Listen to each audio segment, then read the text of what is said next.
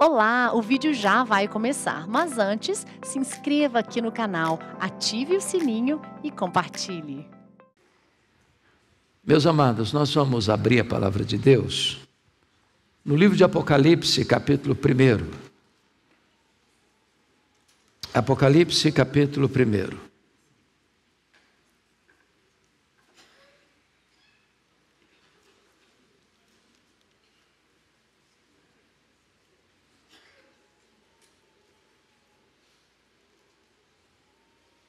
Versos 1 a 18. Revelação de Jesus Cristo que Deus lhe deu para mostrar aos seus servos as coisas que em breve devem acontecer, e que ele, enviando por intermédio do seu anjo, notificou ao seu servo João, o qual atestou a palavra de Deus e o testemunho de Jesus Cristo quanto a tudo o que viu. Bem-aventurados aqueles que leem e aqueles que ouvem as palavras da profecia e guardam as coisas nela escritas, pois o tempo está próximo. João, as sete igrejas que se encontram na Ásia, graça e paz a vós outros, da parte daquele que é, que era e que há de vir, da parte dos sete espíritos que se acham diante do trono, do seu trono, e da parte de Jesus Cristo, a fiel testemunha, o primogênito dos mortos e o soberano dos reis da terra, aquele que nos ama e pelo seu sangue nos libertou dos nossos pecados e nos constituiu reino, sacerdotes para o seu Deus e Pai. A Ele a glória e o domínio pelos séculos dos séculos. Amém.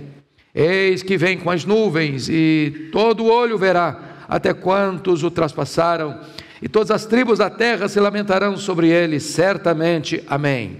Eu sou o Alfa e o Ômega, diz o Senhor Deus, aquele que é, que era e que há de vir, o Todo-Poderoso. Eu, João, irmão vosso, e companheiro na tribulação, no reino e na perseverança. Em Jesus achei-me na ilha chamada Pátimos, por causa da palavra de Deus e do testemunho de Jesus. Achei-me em espírito no dia do Senhor e ouvi por detrás de mim grande voz, como de trombeta, dizendo: O que vês, escreve em livro e manda às sete igrejas: Éfeso, Esmirna, Pérgamo, Tiatira, Sardes, Filadélfia e Laodiceia. Voltei-me para ver quem falava comigo, e voltado vi sete candeeiros de ouro, e no meio dos candeeiros, um semelhante a filho de homem, com vestes talares, e cingido à altura do peito com uma cinta de ouro. A sua cabeça e cabelos eram brancos como a alva lã, como neve, os olhos como chama de fogo, os pés semelhante ao bronze polido, como que refinado numa fornalha, a voz como voz de muitas águas. Tinha na mão direita sete estrelas, e da boca saía ali uma afiada espada de dois gumes. O seu rosto brilhava como o sol na sua força. Quando o vi, caí a seus pés como morto. Porém, ele pôs sobre mim a mão direita, dizendo: Não temas, eu sou o primeiro e o último, e aquele que vive. Estive morto, mas eis que estou vivo pelos séculos dos séculos, e tenho as chaves da morte e do inferno. Meus amados, eu gostaria de hoje tratar com vocês sobre a pessoa e a obra do nosso glorioso Redentor. Esse texto é um dos mais belos e eloquentes de toda a Bíblia na descrição de quem é o nosso redentor. É um dos textos mais claros daquilo que ele fez por nós, trazendo ao mesmo tempo as consequências disso para a nossa vida. O tempo era muito difícil, os anos eram os mais sombrios.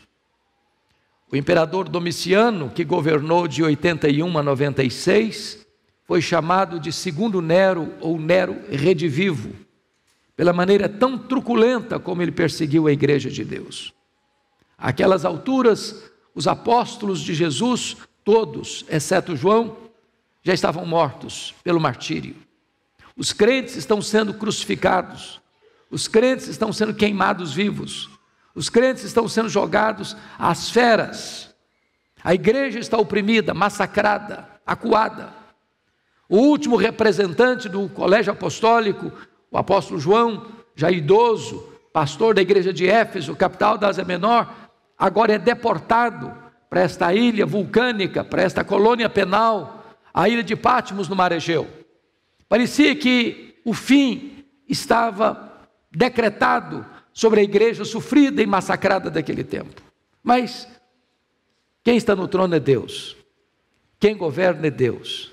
Quem tem o poder de mudar o placar do jogo é Deus. Quem tem o poder de virar a mesa da história é Deus. E Deus reverte essa situação, porque quando João está na ilha de Patmos, parecendo que tudo estava perdido, Deus revela para ele o futuro. As coisas que não talvez aconteçam, as coisas que podem acontecer, mas o Senhor revelou para ele as coisas que devem acontecer. E a primeira coisa que João tem a contemplação é exatamente da pessoa do nosso glorioso Redentor. Nas horas difíceis da vida, mais do que tudo é importante você e eu sabermos quem é Jesus, qual o poder que ele tem, que controle ele tem da história, quem é ele. E eu então convido vocês, primeiramente, para olharmos a grandeza incomparável daquele que é o nosso Salvador, daquele que é o Senhor da nossa vida, daquele que é a nossa esperança, a nossa alegria, a nossa paz, a nossa justiça, a nossa herança. Então vamos ver alguns aspectos aqui. Primeiro, é, a primeira coisa que João vê é que este Jesus, exaltado, glorificado, está no meio da sua igreja. Veja comigo o versículo 12 e 13. Você pode ler em voz alta comigo, por favor? Vamos juntos? Voltei-me para ver quem falava comigo, e voltado, vi sete candeeiros de ouro, e no meio dos candeeiros, um semelhante a filho de homem, com vestes talares e cingido à altura do peito, com a cinta de ouro. A primeira coisa que você vai notar é que João tem uma visão de Jesus como rei e ao mesmo tempo como sumo sacerdote. Ele governa e ele intercede. Ele está no trono e ele está intercedendo por você. A história parece estar à deriva, mas não está. A história parece estar fora de controle, mas não está. O Rei dos Reis está sentado no trono. Ele é rei, ele governa, ele manda, ele controla, ele dirige, mas ele não se esqueceu da igreja, ele está intercedendo pela sua igreja. A liderança está nas suas mãos. E a expressão que vai se repetir nestas sete cartas é que ele conhece, e ele conhece as obras da igreja, ele conhece as tribulações da igreja, ele conhece o lugar onde a igreja está, e ele tem promessas para a sua igreja, promessas de vitória, promessas de conquistas. A igreja de Éfeso, ele disse: Dar-lhe-ei que se alimente da árvore da vida. A igreja de Esmirna ele diz: de nenhum modo sofrereis o, o, dano da segunda morte. A igreja de Pérgamo ele diz: eu vou lhe dar o maná escondido. A igreja de Tiatira ele diz assim: eu vou lhe dar autoridade sobre as nações. A igreja de Sardes, ela será vestida de vestiduras brancas. A igreja de Filadélfia vai se tornar coluna do santuário de Deus. A igreja de Laodiceia diz: Eu vou colocar você sentado comigo no meu trono. A igreja, apesar das lutas e dores, ela é vitoriosa, ela é vencedora. Louvado seja o Senhor. A segunda coisa que João percebe, irmãos, uma das mais belas descrições bíblicas Está aí a partir do versículo 14, eu peço que você olhe comigo. No verso 14, há duas descrições aqui de quem Jesus é. Primeiro, ele é eterno. Segundo, ele é onisciente. Quando diz que seus cabelos são brancos, como a alva lã, como neve, isso é uma descrição da eternidade dele. Ele não foi criado, ele não passou a existir, ele é eterno. Antes que o mundo existisse, ele já existia. Se ele é eterno, nada daquilo que é do tempo pode afetá-lo, pode atingi-lo, pode derrotá-lo.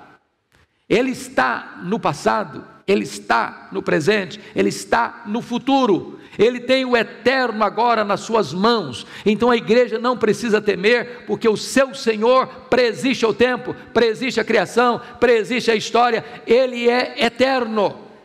Mas o texto vai nos informar que os seus olhos são como chamas de fogo, e essa expressão figurada é uma descrição de que ele é onisciente, ele tudo sabe, ele tudo vê, Ele tudo conhece. O sofrimento que a igreja está passando não está fora do seu alcance, do seu conhecimento. Ele conhece você, ele conhece o seu nome, ele conhece a sua história, ele conhece o seu passado, ele conhece o seu presente, ele conhece o seu futuro. Nada escapa do seu conhecimento. Ele conhece a igreja, ele conhece exatamente como você entrou aqui hoje, nesta manhã. Mas notem comigo o versículo 15, que João prossegue nesta análise para trazer mais dois atributos do nosso glorioso redentor. Primeiro, veja você, seus pés semelhantes a bronze polido, como que refinado numa fornalha. Isso trata da sua onipotência. Ou seja, ninguém pode resisti-lo. E a Bíblia diz que ele vai esmagar debaixo dos seus pés, vai colocar debaixo dos seus pés todos os seus inimigos. Quando você lê o livro de Apocalipse, é a grande Babilônia, é o anticristo, é o falso profeta, é o diabo, é a morte e é a vida de todos aqueles cujos nomes não estão escritos no livro da vida, ou seja, não há mínima chance e possibilidade do Cristo glorioso ser derrotado e daqueles que estão com ele serem derrotados. Cristo é vitorioso e a igreja também o é, porque ele é onipotente. Mas você vai adiante no verso de número 15 e está escrito: a sua voz, a voz é como voz de muitas águas. Isso fala da irresistibilidade do nosso glorioso Redentor. Conforme foi lido aqui hoje, o tema deste ano é que a voz dele é poderosa, é irresistível. Quando ele fala, as coisas acontecem. Quando ele manda, as coisas precisam acontecer, porque ele é irresistível. A sua voz despede chamas de fogo, a sua voz faz quebrar os cedros do Líbano, a sua voz despede, faz tremer o deserto, a sua voz é irresistível. Ele manda, o sol para, ele manda, as estrelas aparecem, ele manda manda e um verme obedece a sua voz, ele manda e uma mula profetiza, ele manda e os anjos saem para obedecer a sua voz, ele manda e os demônios têm que se retirarem, ele manda e a sua voz é poderosa e irresistível. Louvado seja o seu nome. Mas notem comigo ainda, por gentileza, o versículo 16, porque segue essa, essa mesma toada. Tinha na mão direita sete estrelas, da sua boca saía uma afiada espada de dois gumes, o seu rosto brilhava como o sol na sua força. Quando diz, meus amados, que da sua boca saía ah, uma afiada espada de dois gumes, significa que ele é vitorioso na batalha. É muito curioso que as pessoas pensam que a batalha do Armagedon vai ser uma batalha de enfrentamento de grandes exércitos, com armas poderosas. Quando você vai ler a Escritura, você vai perceber que Armagedon é muito mais um emblema do que uma geografia. Quando você vai a Israel e olha o vale do Armagedon, não tem nem espaço para poderosos e numerosos exércitos acamparem ali. E a única arma que vai ser acionada nessa batalha final da vitória de Cristo sobre os seus inimigos é a espada afiada que sai da sua boca não vai ter armas nucleares, não vai ter bombas atômicas, não vai ter carros aparelhados de guerra. Não, não, não. A vitória vai ser desta espada afiada que sai da sua boca. Ele vai matar o anticristo com o sopro da sua boca. Ele é o vitorioso, ele é irresistível. Ninguém pode detê-lo. Bendito seja Deus. Mas ele, diz o texto, é glorioso, porque o seu rosto brilha como o sol no seu fulgor. João não está vendo mais aquele Cristo suando sangue do Getsemane. João não está vendo mais aquele Cristo esbordoado e cuspido do sinédrio judaico. João não está vendo mais aquele Cristo espancado e vilipendiado do pretório romano. João não está vendo mais aquele Cristo zangue que caminha pelas ruas de Jerusalém, debaixo de apupos e vaias de uma multidão ensandecida. João não está vendo mais aquele Cristo pregado naquele leito vertical da morte. João está vendo o Cristo ressurreto, o Cristo vitorioso, cujo rosto brilha como o sol no seu fulgor. Esta é a presença, este é o sinal do Cristo a quem adoramos nesta manhã. Mas olhe comigo, por gentileza, ainda, os versos 17 e 18, porque aí tem duas informações importantes. Primeiro, ele venceu a morte. Versículo 18: E aquele que vive, estive morto, mas eis que estou vivo pelos séculos dos séculos. A Bíblia chega a dizer em 1 Coríntios que se os sábios deste mundo soubessem do plano de Deus, jamais teriam crucificado o Senhor da glória. Porque o que, que os homens fizeram, judeus e gentios, né? Pôncio Pilatos e os, as autoridades judaicas, vamos matá-lo. Ao matá-lo, estabeleceremos a nossa vitória sobre ele. Ele será eliminado, ele será calado, ele será parado. Mas diz a Escritura que, como que num projeto de sabotagem divina, quando mataram Jesus, quando crucificaram Jesus, quando sepultaram Jesus, pensando que ali estava a vitória deles, o Senhor Jesus entrou nas entranhas da morte, arrancou a guilhão da morte, matou a morte e, não, e ressuscitou, inaugurando a imortalidade. Ele venceu a morte. A morte não tem mais a última palavra. O túmulo gelado não é mais o nosso último endereço. Você e eu que cremos nele, ele que é a ressurreição e a vida, nunca mais morreremos eternamente. Já passamos da morte para a vida, porque Jesus é o Senhor da nossa história e da nossa vida, o conquistador da morte. Mas ainda notem vocês que Jesus é mais do que isso, ele é o restaurador. João, que era o mais próximo discípulo de Jesus, que reclinou no peito dele na ceia, lá no cenáculo, quando vê o Cristo glorioso, ele é tão impactado que ele cai como morto aos seus pés.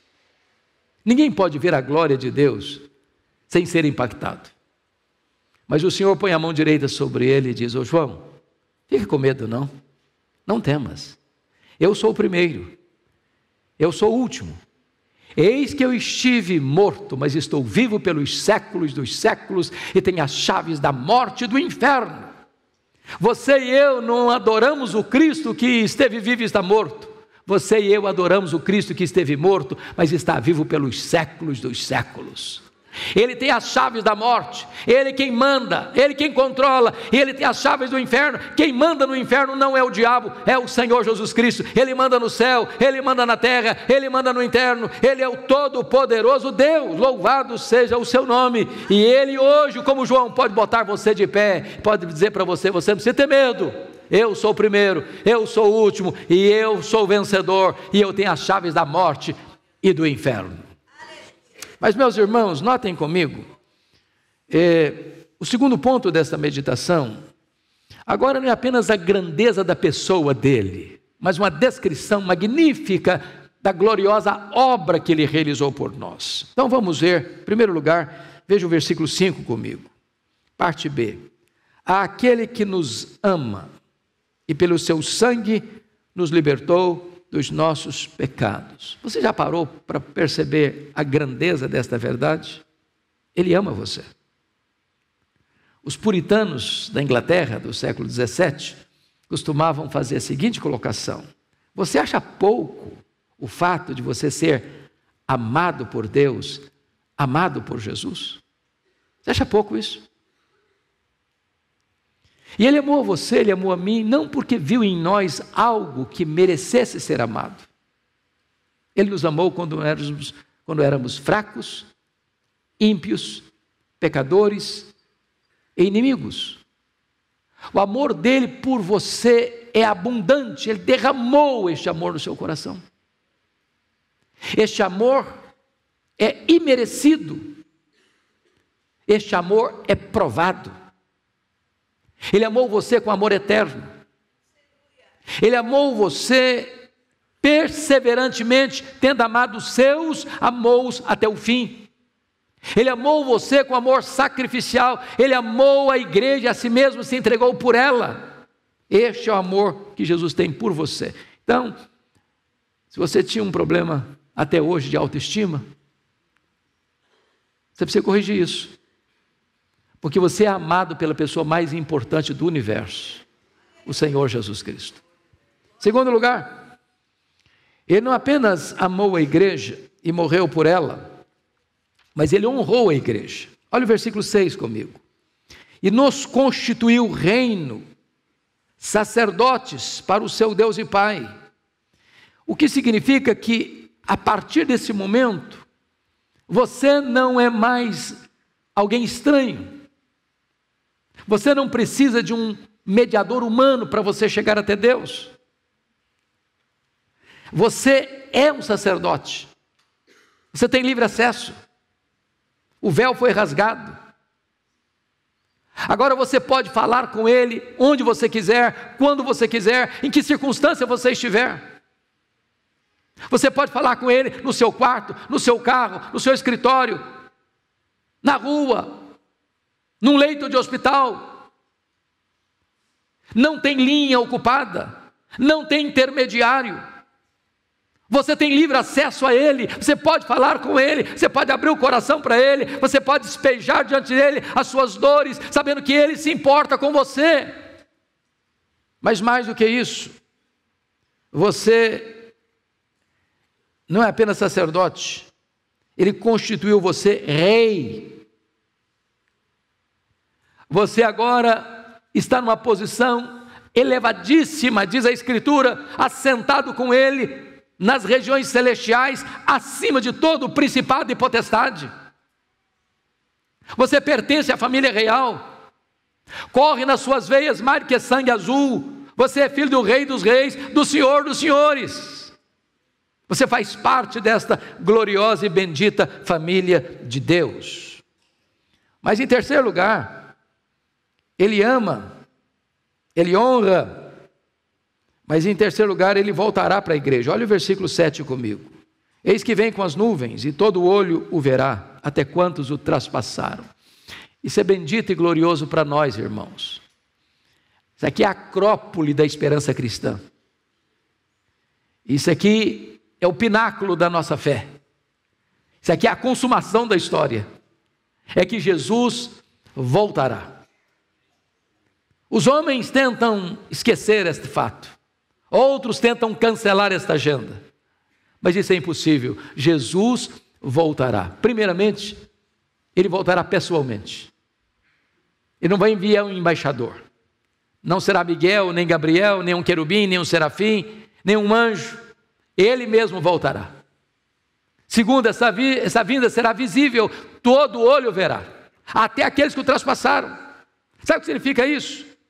Aqueles que condenaram Jesus, que prenderam Jesus, que cuspiram em Jesus, que açoitaram Jesus, que vilipendiaram a Jesus, vão ressuscitar.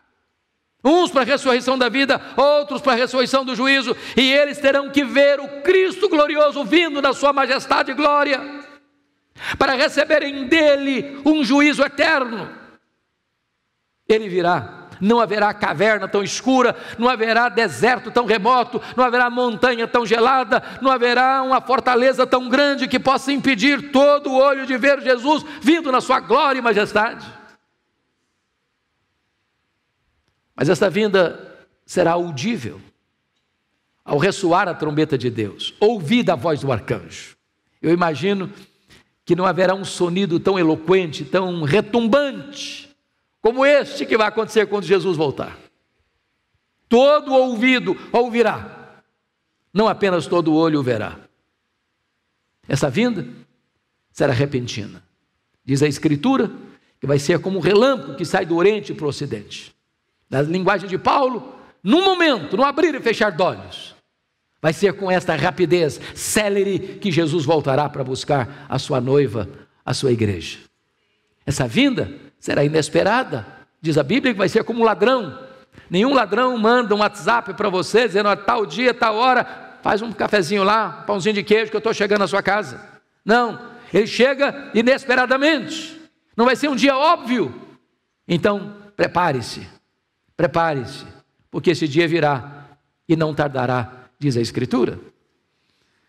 Mas, meus amados irmãos, agora eu gostaria de ver com vocês as implicações disso, de forma muito breve.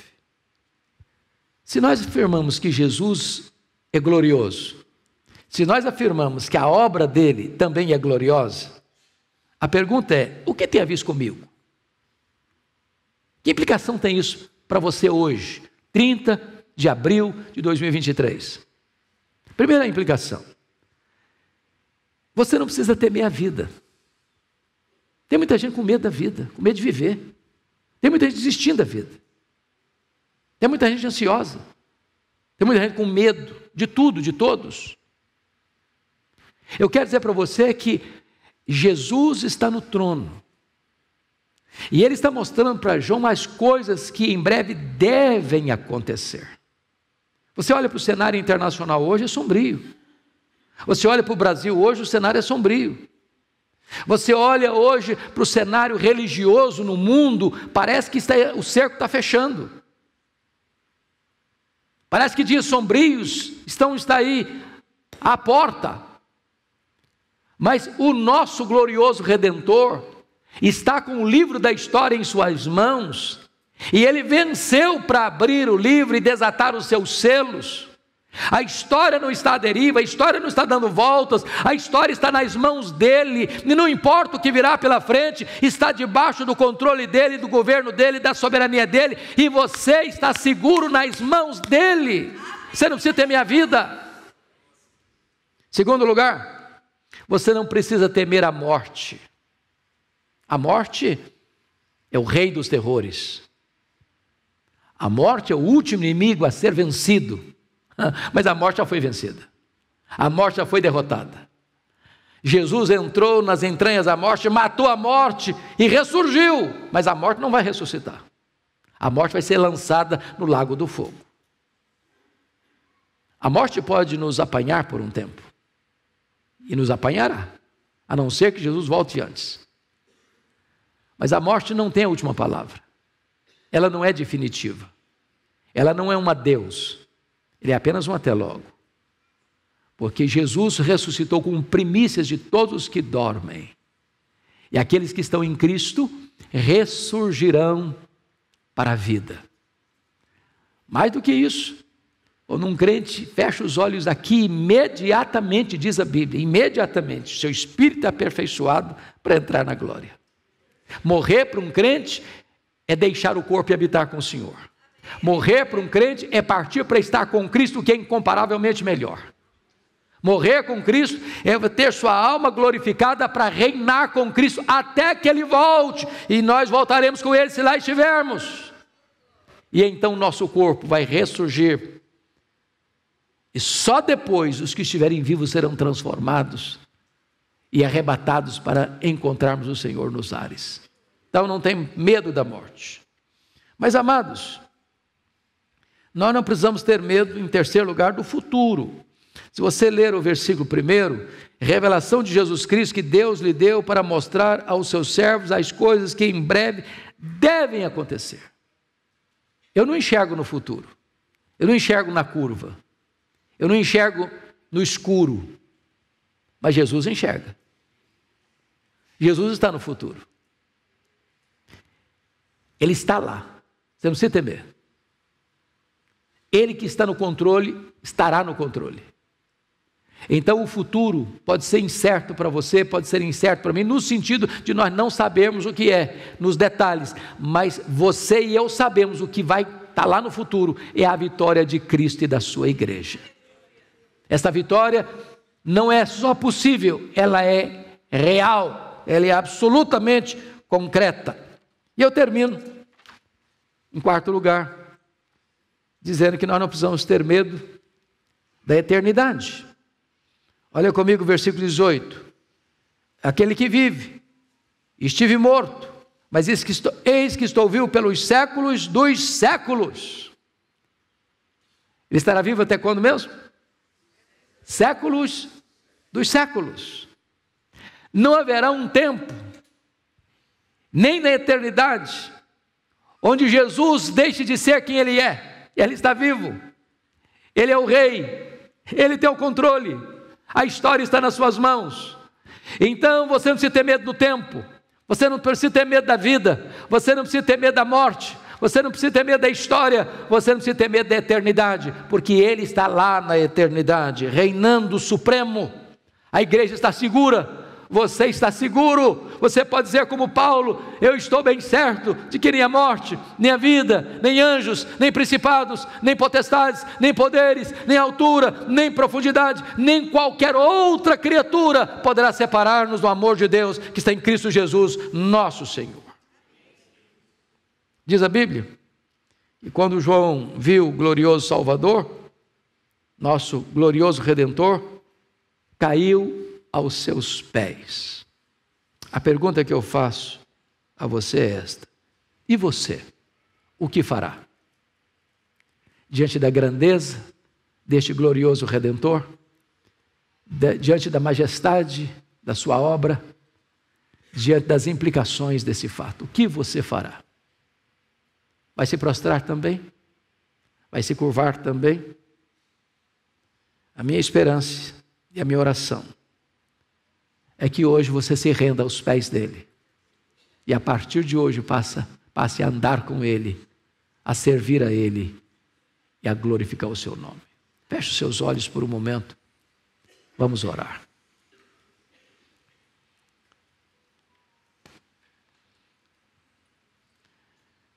Ó oh Deus, nós ficamos extasiados diante da beleza, da majestade, da glória excelsa e inefável do nosso glorioso Redentor.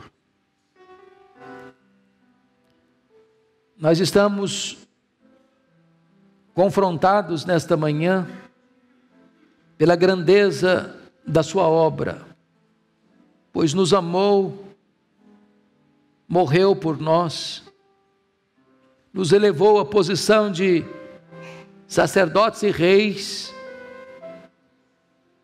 e temos a promessa que tu hás de voltar em breve para nos buscar.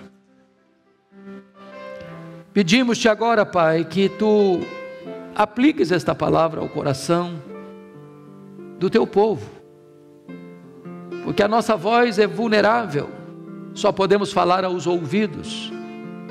Mas o Espírito Santo que aqui está é poderoso para falar aos corações. Toca, meu Deus, a vida de cada pessoa que está aqui, das milhares de pessoas que estão acompanhando virtualmente este culto. Porque tu conheces a vida de cada um, as lutas, as dores, os medos, as angústias, os temores que nesta manhã tu acalmes o coração do teu povo. Que nesta manhã tu cures o coração do teu povo de todo medo, toda angústia, de todas as incertezas. E que a tua igreja, meu Deus, se revista da tua força e do teu poder para viver uma vida plena, digna, maiúscula para louvor da tua glória. Fica conosco, Senhor. Segura firme na nossa mão Guia-nos com teu conselho eterno, até nos receberes na glória. Assim oramos em nome de Jesus. Amém.